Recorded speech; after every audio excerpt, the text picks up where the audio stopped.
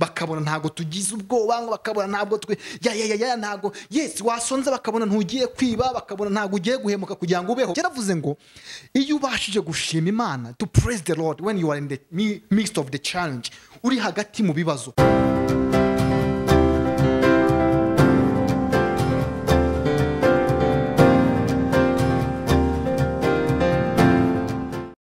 Ndongera ndabasuhuje nanone bakunzi b'icyerekezo tv nyagasani abishimire umwami imana banezererwe. Ah, dushima imana buri munsi iyo tubonye bukeye iyo tubonye turi amahoro. Hari uwigeze avuga neza aravuga ngo nuryama ukabona burakeye ntuzajya ubona ari ibintu bisanzwe nusinzira ukabona ibitotsi. Ntukabifate nk'ibintu bisanzwe ngo uvuge ngo ah yesi nagomba gusinzira. Nibyo nkanakanguka aho ya ahubwo uzajya wumva mu mutima wawe yuko harimo ishimwe riturutse ku Uwiteka imana. Wumve ko hari icyo imana yakoze ndetse gikomeye cyane. Umwanditsi wa biriya yari yavuze ngo aba yanatanze n'ingabo nyinshi cyane kuko ni ni ku Uwiteka imana yavuze ati nzatanga n'ingabo nyinshi zipfe ku bwawe yabwiraga yakobo. Bishatse kuvuga ngo nubona uri amahoro bishimira imana ujya mu kazi ukabona birakunda ukabona uragenda bigashoboka ukarya bigakunda yes be thankful ku- mana wishimire ku bw'ibyo iba yakoze. Nitwa mediateur niyo nizera ikiganiro cyo mumaze kukimenyera ni time for inspiration. Uyu munsi ah, tuje mu yindi inspiration. Ah, murabona ko naje nanjye nabyiteguye kuko iyi inspiration yabaye ah, nanjye ya mbere inspire. Cyangwa se nanjye ubwanjye yanyinsparinze cyangwa se hari icyo nongeye nayungutsemo. Ni inspiration isanzwe yavuzwe n'umugabo witwa david oyedepo.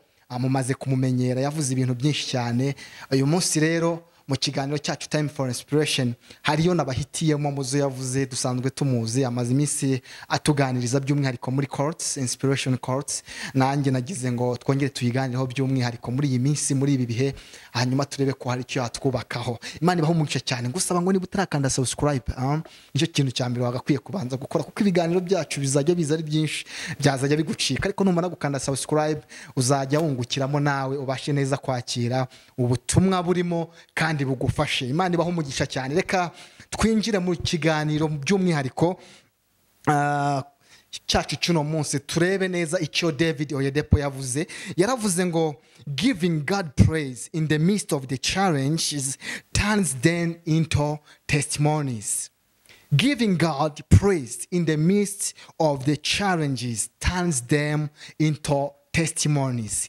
Bishatse kuvuga ngo guha Imana amashimwe cyangwa se gushima Imana ugeze mu bihe bikomeye, ugeze mu bigeragezo uri mu ntambara, bibasha kubihinduramo ubuhamya cyangwa se testimonies.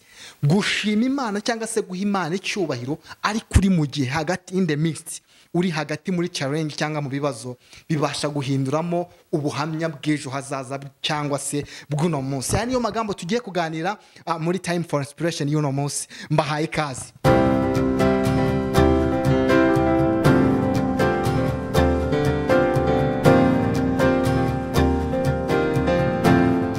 Yes nk'uko nabibabwiraga rero ah, uyu munsi nabahitiyemo iyi topic ah, nsuhuza abakunzi b'icyerekezo tv by'umwihariko aho mugiye muri mutandukanye mumaze gukunda ikiganiro time for inspiration.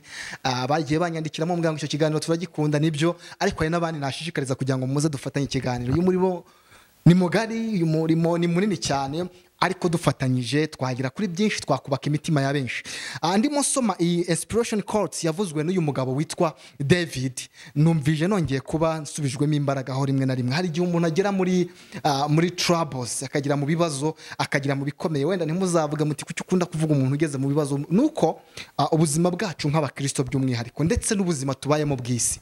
Ngira ngo ni byo muzakunda gusanga hari n'abakunda kubivuga bati n'ubuzima abakristo babayemo erega ni bwo n'ab'isi babayemo. Niba ari economic crisis ni ikibazo isi ifite natwe kikitugeraho. Mwabonye ko hajeho pandemic diseases like covid 19 ntabwo byaje kuba kristo gusa ngo wenda ngo bigere ku basenga gusa nibigera ku bandi birorero hoya byaje ari ibya rusange. So niyo mpamvu wa mwanditsi yavuze ngo nta n'ikigeragezo kibasha kitari rusange. Bishatse kuvuga ngo biba ari ubuzima busanzwe. Ariko david yavuze ikintu cyiza cyane nishimiye. Numva nari nagikunze. Avuga ngo giving god praise. Mu yandi magambo guhesha imana icyubahiro. Guhereza imana icyubahiro.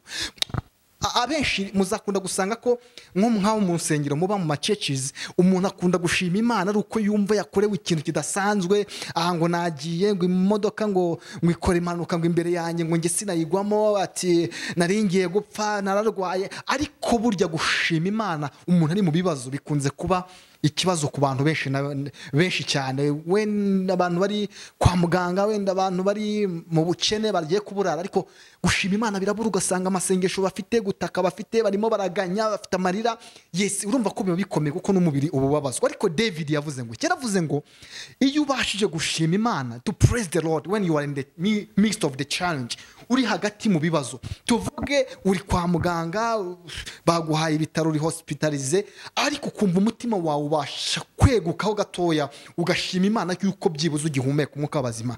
Tuvuge uri mu nzira uri kwibaza aho uraza gukura minerivare y'umwana se uribaza aho uri buze gukura amafaranga yo kwishyura inzu ariko wagera imbere y'imana ukumva ayo maganya ntabwo ahise aza ngo agutwikire ahubwo ukumva muri we hajemo praises. Haleluya kumva hajemo indirimbo zo gushima imana ukumva hajemo amagambo ahumuriza.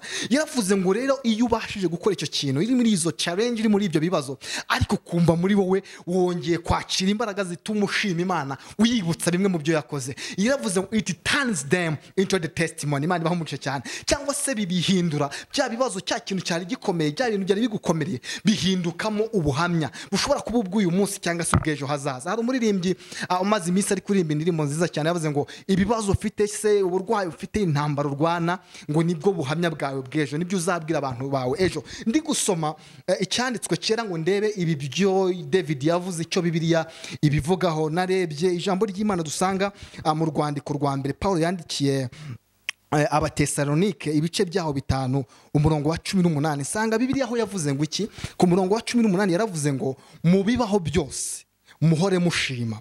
Ngo kuko ari iby'imana ibashakaho muri kirisito yesu. Amen.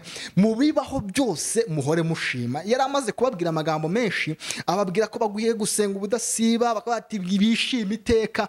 Ageze hano hepfo arongera ababwira ngo noneho igikomeye ikirushije ibindi kuba cyiza. Mu bibaho byose mu buzima mubayemo. Nshuti yanjye nta gihe kizabaho uzabona ubuzima buri perfect buri kugenda straight line. Ngo usange ibintu byose birakunda. Mhm. no mu kazi habamo intambara. Mu buzima busanzwe n'udafite akazi ushomereye nawe mu bushomeri habamo intambara. Uri uri muzima nta kibazo ufite ugenda ukamuvinga ugakora ibyo ushaka na byo usanga harimo intambara. N'iyo ufite uburwayi umeze neza nabi ukonje naho habamo intambara. So ariko uravuga ngo mwishime ubudasiba ariko mu bibaho byose muhore mushima. Ntabwo ari ibyo byonyine gusa nongeye gusoma ah, ibindi byanditswe byera ijambo uyu mugabo yari ari mu mwuka w'imana yari afite ihishurirwa. Nsanga mu byakozwe n'intumwa ah, wenda naho reka tuhasome dusoza n'ikiganiro cyacu cy'uno munsi kuko murabizi ntabwo kiba gifite umwanya munini. Ariko reka nongere mbasomere kino cyanditswe kiri mu byakozwe n'intumwa ibice cumi na bitandatu umurongo wa makumyabiri na gatanu n'uwa makumyabiri na gatandatu. Cumi na bitandatu ah, makumyabiri na gatanu na makumyabiri na gatandatu. Handitse amagambo avuga ngo iki? Ariko mu gicuku Pawulo na sira barasenga baririmbira imana. Izindi mbohe zirabumva. Uwo mwanya habaho igishyitsi cyinshi imfatiro z'inzu ziranyeganyega. Inzugi zose zihera ko zirakinguka iminyururu ya bose iradohoka. Mwakire neza ijambo ry'imana. Waza kwibaza ngo aya magambo ahuriye he? Ngewe ndimo ndabitekereza personal nk'umuntu naje kureba aba bagabo bari bafunzwe kubw'ubutumwa bwiza. Akenshi niyo tunitotomba twitotombera challenge turimo cyangwa ibibazo turimo. Hari n'igihe usanga ari bimwe tuba twiteje. Ugasanga ni za ntambara rimwe na rimwe twagizemo uruhare dore ko intambara ivuye mu muntu ariyo iba ikomeye cyane kurenza iturutse hanze ariko babo bari bahowe kuvuga kirisito bari bahowe n'ubutumwa bwiza. Ngo barabafata babashyira mu nzu y'imbohe. Bibiliya yatubwiye ikintu cyiza ari cyo navuze in the midst of challenge as how david yabivuze. Hagati mu minyururu ngo barabafashe barabafunga babarenza muri gereza isanzwe ngo babinjiza mu kandi kazu ahantu bafungiraga njya numva bamwe bahita ngo ni mu gasho abandi bagira n'andi mazina menshi bagenda bahitana ahantu batinyagambura ngo babafashe nubwo ntaraza kuvugaho byinshi cyane ariko ngo barabafashe babazirika ibintu by'ibibahu amaguru babashyira bayashyira mu mbago. Babyise ngo ni imbago amaboko bahambiriza iminyururu. Nabo ubwabo barabazirika. Ko hatagira n'uza kunyeganyega. Ariko imana ishimwe cyane. Hanyuma ngo bigeze mu gicuku indani nijoro cyane cya gihe abantu baba bageze mu gihe cy'uburibwe bwa nyabwo cyane ko muri gereza haba harimo imbeho ni cyo gihe cy'ubukonje inzara ibigezemo kuko niba ari twa tuntu cyangwa se za mvunguru baba bariye ku mugoroba urumva ko icyo gihe zishizemo bageze in the midst of the challenge nyirizina mu buribwe bwa gereza nijoro. Mwuka w'imana arabasura. Haleluya ngo bumva iby'uburibwe biragabanutse iminyururu yari ibaboshye bumva isa nk'aho idohotse. Ariko mu by'ukuri fizikari bari bakiboshye. Ariko muri bo bahinduye za challenge barimo bahinduye bya bibazo barimo umwanya mwiza wo gushima. Ngo bazamura indirimbo bararirimba. Yesu ashimwe cyane. Ah, umwanditsi yarabivuze neza ngo niba wumva unababaye cyangwa se wishimye burya kuririmba hari ibintu byinshi bigarura hari iyindi mudu nziza cyane bituzanira. Ngo bazamura indirimbo batangira kuririmba. Umwe w'umwami yesu ankunda ndamahoro ndaho ndiho naho napfa. Nzi ko nkundwa n'uwiteka yesu amibyo na byose ndamahoro. Ntabwo ariyo baririmbaga. Ariko indirimbo baririmbaga zari indirimbo zo kubakomeza zari indirimbo z'ibyiringiro zo kunesha z'ubutsinzi. Haleluya indirimbo zirimo umwuka wera w'imana. Ngo batangira kuririmba biriya tubwiye ngo izindi mbohe zirabumva iyo ni rezilita ya mbere. Bishatse kuvuga ngo ntabwo baririmbye ngo baceceke ngo bajye hariya ngo batuze ngo baririmbe za ndirimbo z'amaganya. Oya bararirimbye rawudiri abantu barabumva izindi mbohe zirumva. Hanyuma ngo barakomeza bararirimba. Ngo hanyuma muri uko kuririmba kwabo umwuka wera w'imana yari aje gukora. Habaho igishyitsi habaho guhindagana ngo bumva igishyitsi kiraje bamaze kumva igishyitsi ngo imfatiro z'inzu zitangira kunyeganyega. Imana ishimwe cyane. Hanyuma kunyeganyega kwazo ngo iminyururu ihera ko iradohoka. Inzugi zirafunguka. Ariko icyashimishije pawulo bakomeje kuririmba ba pawulo bakomeje kuririmba ndetse buzura umwuka wera w'imana. Ndetse igikomeye ntabwo batorotseho ya. Nubwo imana yari igaragaje ikimenyetso cy'ibyiza ntabwo batorotse. Ariko icyo nari nishatse kubabwira ni iki? Ntabwo nishatse kwinjira muri izi nkuru cyane ahubwo nagiraga ngo mbumvishe ko iyo ushimye imana iyo ubashije kuramya imana mu gihe cy'ibibazo mu gihe cy'intambara ukabasha kubwiza imana ukuri. Ukayibwira yuko ari imana. Ukayiramya ukayihimbaza ukayisingiza ukayibwira yuko na kera hose yari ikuzi. Ukayibwira yuko na mbere yuko ubaho imana yari izi ubuzima bwawe ukayibwira yuko nukubayeho na byo imana ibizi kandi itabiyoberwa. Bituma ibyo wari urimo by'ibibazo bihinduka testimonies z'ejo cyangwa se bihinduka ubuhamya. Ngira ngo nimukomeza gusoma aya magambo muzasanga ko ba pawulo bimaze kurangira bimaze gu- gu- ba- ba- bafungutse. Ngo ahantu imbohe zari ziri zishimye zinezerewe ariko abarinzi ba gereza ngo baje gukanguka basanga gereza yose irangaye. Ariko igikomeye ngo basanga ntabwo bavuyemo. Basanga imbohe zose zirimo. Hanyuma ngo baza kubabaza ngo ariko ngo twe twakora iki? Kuko nimusoma muzasanga bari abacungagereza ngo umwe yashatse no kwiyahura bati karabaye imbohe zagiye. Baramubwira ati no wikiyahura no reason. We are still around turacyahari. Ahubwo birangira babagira ngo njye nakora iki? Kugira ngo nanjye mpabwe ubwo buntu mwahawe. Natwe abantu bazatubaza nitugira muri challenge bakabona ntabwo tugize ubwoba bakabona ntabwo twe ya ya ya ntabwo. Yes wasonze bakabona ntugiye kwiba bakabona ntabwo ugiye guhemuka kugira ngo ubeho. Yes. A- a- arabasohokana babaza ati batware nkwiriye gukora ne ngo ngire. Baramusubiza bati ah izera umwami yesu yakira ubwawe n'abo mu rugo rwawe. Ngo bamubwira ijambo ry'umwami yesu n'abo mu rugo rwe bose. Amen.